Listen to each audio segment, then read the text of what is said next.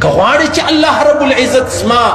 زما زما زما پلانې نعمت را څخه وانخلي پر بیریږي یو زوی الله درکړی دی پر بیریږي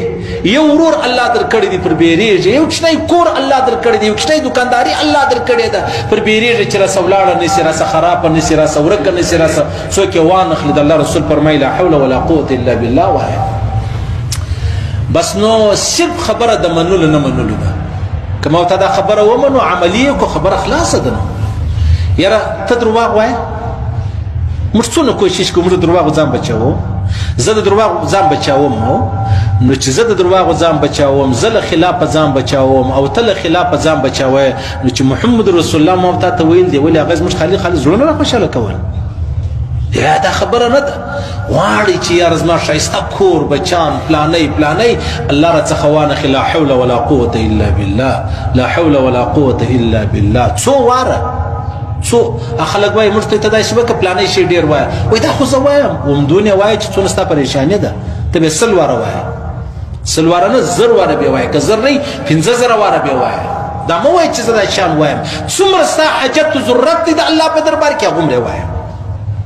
حضرت ابو هريره رضی الله تعالی عنہ سره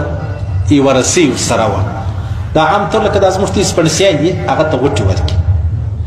غټي چې ورکي د سپنسي سره و